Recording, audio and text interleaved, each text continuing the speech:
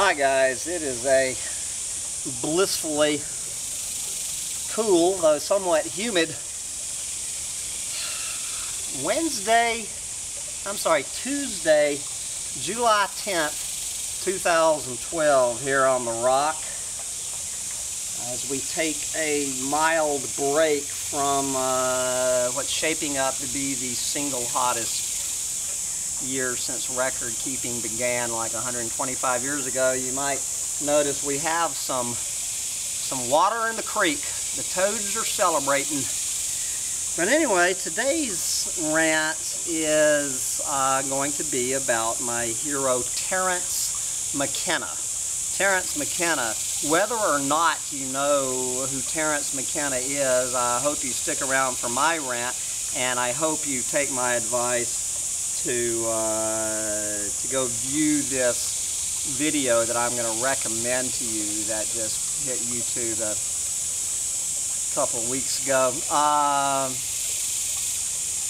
definitely, if you're into Terence, you need to watch this video because it just comes out with some pretty amazing stuff, which I'm I'm going to talk about. But guys, for any of you listening to this who are not familiar with Terence McKenna, uh, do whatever you can to change that in your life. I've, I've had several rants on Terence before, and many of my favorites that I have posted, I've probably posted about 20 of my favorites, are talks by Terence McKenna. He is the closest thing I have ever had to a guru but I'm not going to go off for 30 minutes trying to tell you who Terence McKenna is. You, I'm sure Wikipedia has a very good page on him, although I've never gone to see it. I'm just guessing.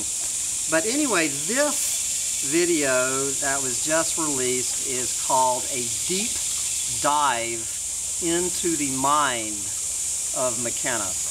A deep dive into the mind of Terence McKenna. Uh, coming at you from the state, the YouTube channel Terence McKenna Tube. And there's going to be a lot more videos in the near future being released by them. And this video, guys, is, let's see, how long is it? it it's like an hour and 33 minutes. Now, unfortunately, I see I'm gonna I'm gonna have to fix this because the one I have here is broken up but you can get the full video in one and uh, I will put that in the links. It's uh, so my first recommendation if you don't want to spend an hour and 33 minutes on this video you might want to just start about minute 24 it, it takes a long time to get into the flow like I like I'm guilty of myself sometimes, probably now. Uh, but this is a talk that comes from the Esalen Institute, uh,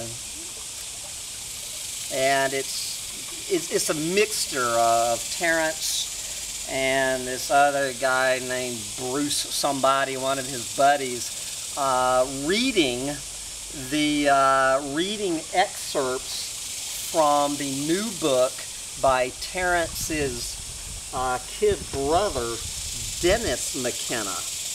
And this is where this new information, it comes at you not from Terence directly and not from this fellow, his name is Bruce Damer.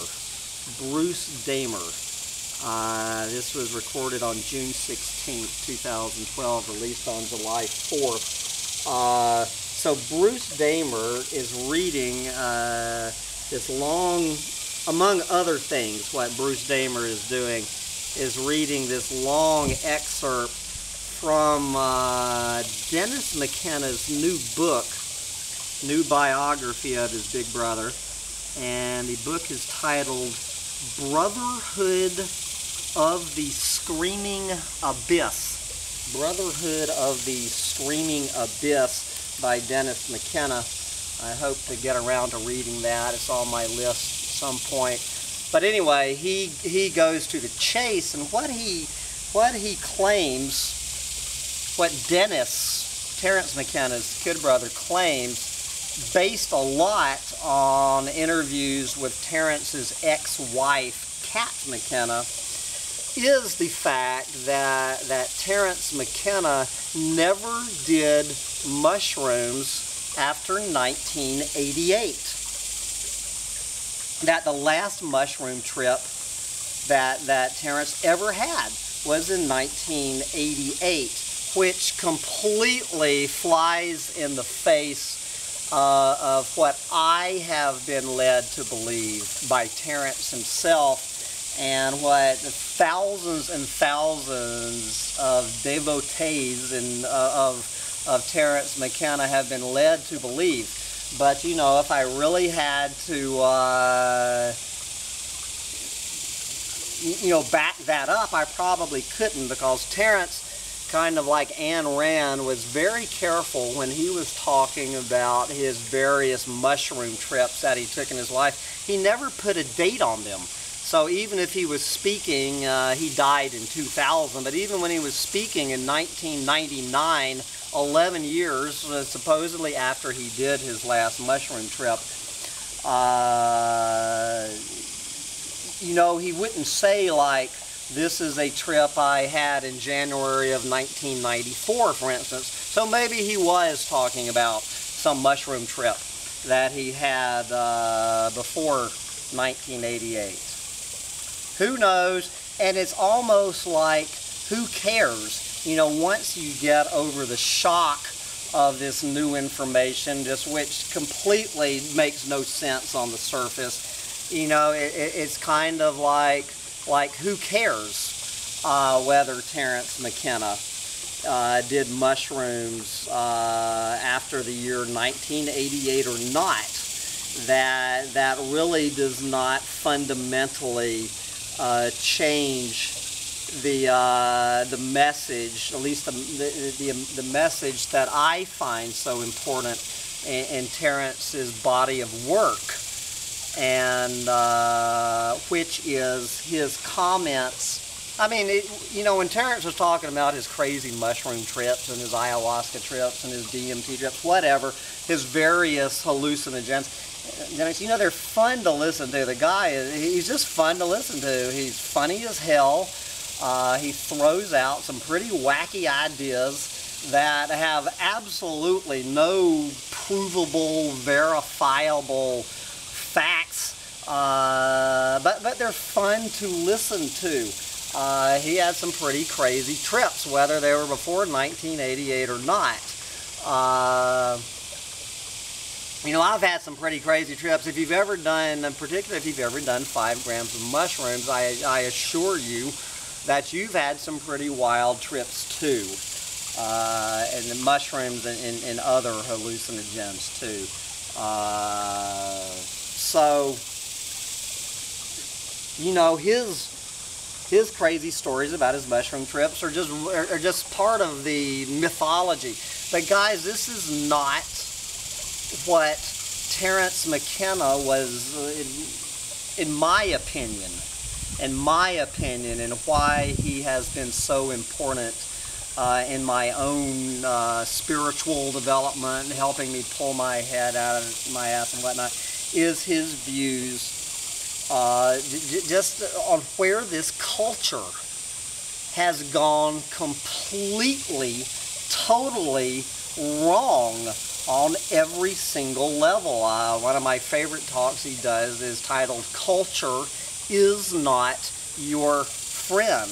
That where we have gone uh, in, in, this culture, in this country, and more and more and more as this sick, twisted, corrupt model that we call culture uh, in the year 2012 and, and which was ramping up when uh, Terence was talking about this in the 80s and 90s. You, you know, this whole culture which is going global, it is, it is entirely sick and twisted it is warping our brains as individuals, as societies and civilizations, and it is bringing down this planet. This is what he learned from the mushroom god, what is, you know, which is so important. And this is, uh, he, you know, uh, and, and to sit here, and, and it drives me crazy. It's, you know, so many people who the only thing they hear from Terence McKenna is, is about his crazy drug trips. They're the same kind of people, uh, you know, who think that Carlos Castaneda and Don Juan, that Carlos Castaneda's probably fictional teacher, Don Juan, that all they did was sit around and do hallucinogens. Nothing could be further from the truth. If you've read Castaneda, I think what he's got 10 books depending on how you look at it, nine or ten books in the series, drugs are never mentioned after the second Castaneda book. The, the, the last seven to eight books in the series never mention drugs again. That uh, as, as Terence and Castaneda or Don Juan, uh, whoever you want to want to call from that thing, are talking about is, is how hallucinogens, uh, and, and, and Terence is most famous for his heroic dose of five dried grams of psilocybin mushrooms, what they are good for and why, why Don Juan and Terence McKenna both recommend doing these heroic doses uh, at least once in your life is the fact that it, it, what Terence would call it is cleaning your disc. Cleaning your disc, that when you do five grams of psilocybin mushrooms, guys, trust me, your disc will be cleaned. This is what uh, why Don Juan Matus was so intent on uh, on Carlos Castaneda early, early in his 13-year apprenticeship to Don Juan, fictional or not was you know so important that early in this awakening process that these large doses of, of hallucinogens are very important tool but that's all they are. They are a tool they are one more tool to immediately pull your head out of your ass to clean your disc to to understand uh, immediately that this reality that's being presented to us, this line of course shit that we are being sold uh, in this culture, it exposes it for the big fat lie that it is, that there are, there are entirely different levels of reality to consider.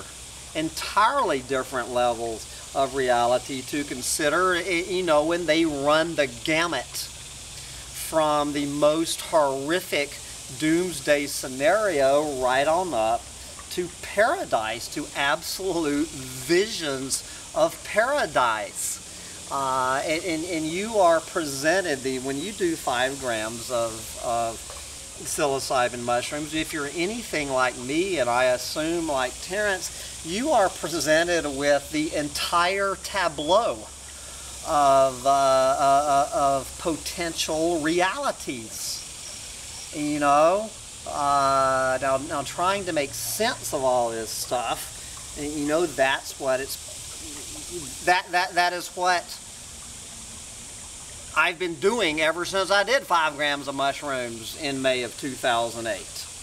I've been, you know, and since then, just for any, for anyone who's uh, who thinks that a Hambone Littletail uh, is doing five grams of psilocybin mushrooms, you know, uh, once a week, I have done them three times in my entire life. I have not done five grams of psilocybin mushrooms since September of 2010 was the last time now I will be doing them again shortly.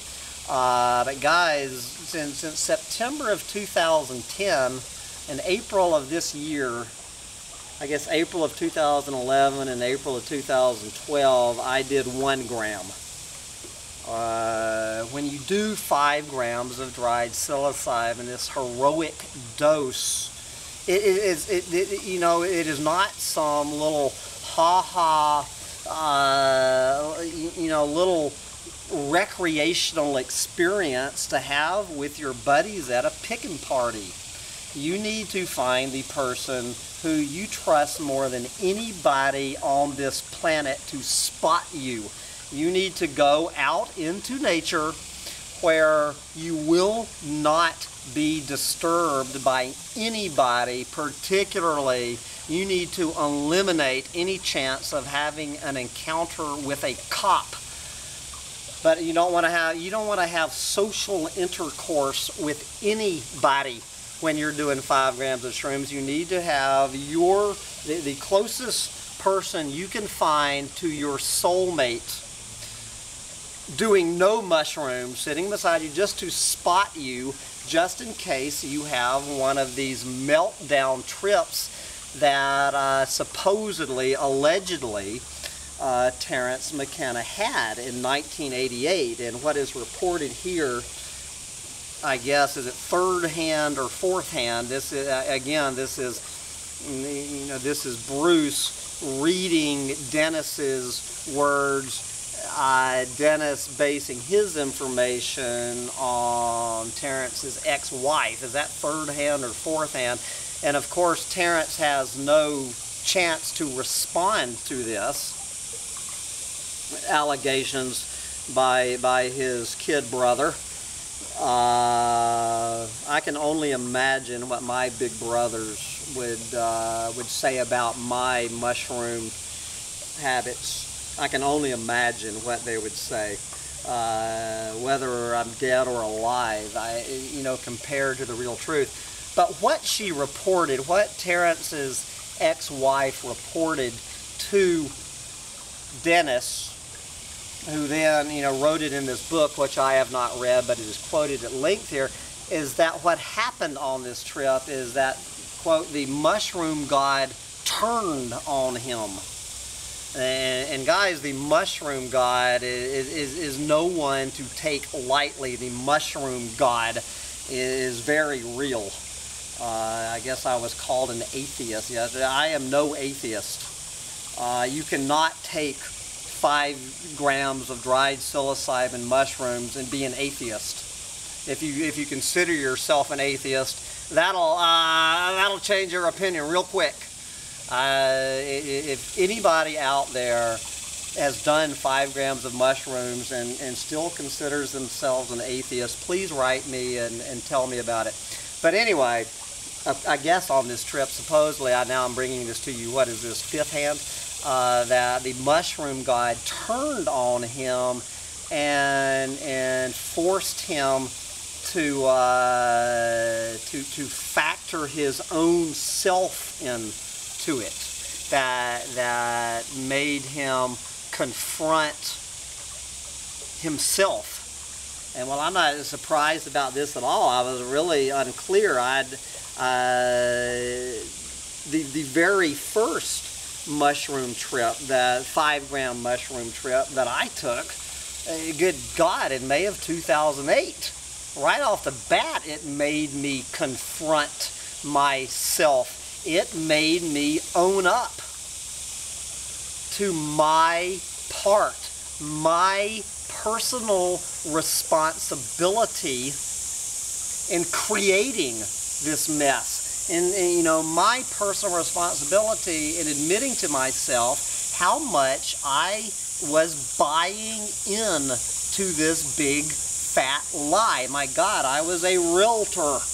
I was a real estate agent for Keller Williams Real Estate when I when I took the red pill in the form of five grams of dried psilocybin mushrooms. It immediately, right out of the gate, the mushroom god held the mirror up to me. You know, it, it held the mirror. It forced me to look into the mirror and uh, and and understand my part in this mess. And uh, that is why I have done, you know, I have dedicated uh, the last four years of my life to extricating myself from this mess, to facing up to my personal responsibility and doing whatever I can on my teeny weeny little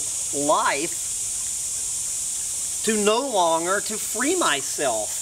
And you know, the main ways I have done this are by getting rid of that gas sucking car that ties me to these oil companies, tearing up my, you know, slicing up my credit cards that keeps me enslaved to these global banksters, uh, reducing my income from uh, from six figures to four figures uh, and reducing my consumption of this crap by about 95% in my life. You know, refusing to walk into a Walmart ever again.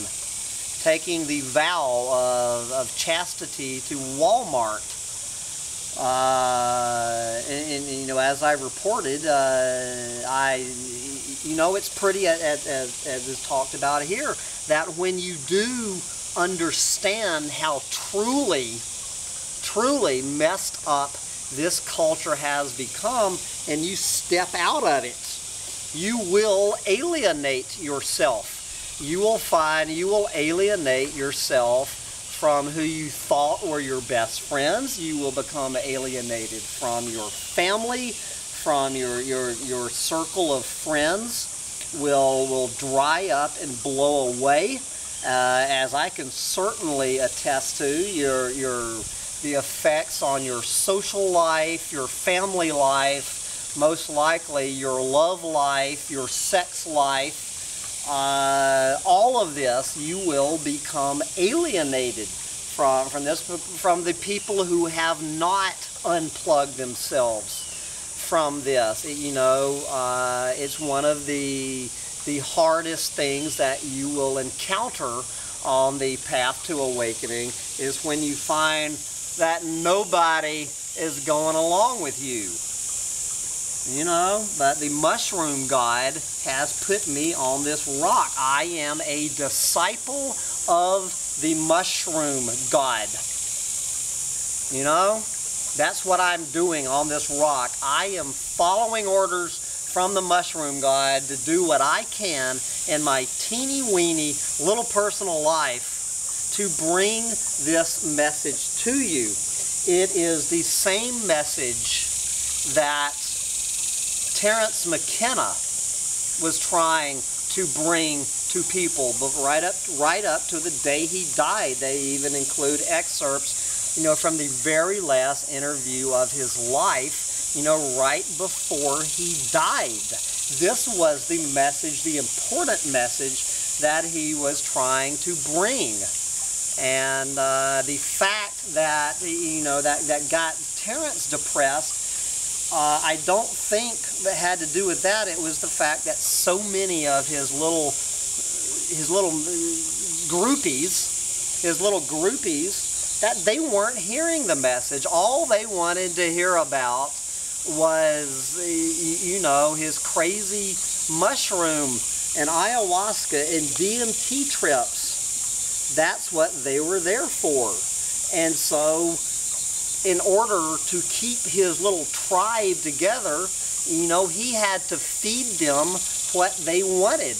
But it's my guess is that the vast majority of Terence McKenna groupies, just like the vast majority of, of Carlos Castaneda slash Don Juan Matus groupies who only read the first couple of books in the series and never went any farther that uh, they, they completely misunderstood the message.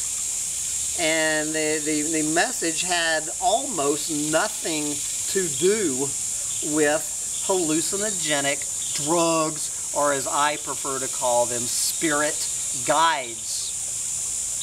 Plant-based spirit guides. And yes, guys, I know fungus or, you know, mushrooms are not, quote, plants, but for most of us, mushrooms are plants. uh, the plant-based spirit guides are a damn good way to wake up to what's going wrong uh, in this culture, in this society, this civilization on this planet. And then you need to rarely, maybe once a year, I think Don Juan uh, did mushrooms once once a year. Would be my be my recommendation. Mushrooms, ayahuasca, peyote, San Pedro, uh, whichever plant-based spirit hallucinogen you you choose you should sample them all in the beginning, figure out which one works best for you. I happen to agree with Don Juan Matus. Mushrooms were the ones that he identified with. And so that is the one that, that Don Juan, uh, it sounds like, did about one time per year. You should sample all of these once or twice early in the beginning of your awakening process. Find the one that works best for you. You know, and then once a year, once a year, uh, refresh your memory. Uh, be preached to by the mushroom god to keep you on track. And uh, whether you're a Terence McKenna fan or not, I will shut up now so you can get to the much more important obligation to yourself to listen to this video and uh, all the other Terence McKenna videos. You can get your hands on because despite the man's crazy theories, he was spot on, spot on about what is what is going on on this planet, in this culture, in this society, in this civilization, and on this planet. And uh, you will be doing yourself a great favor by uh, turning into the genius, the prophetic genius of Terence McKenna by delving deeper and deeper into the mind of Terence. And with that, I'm going to climb off this rock and say, bye guys.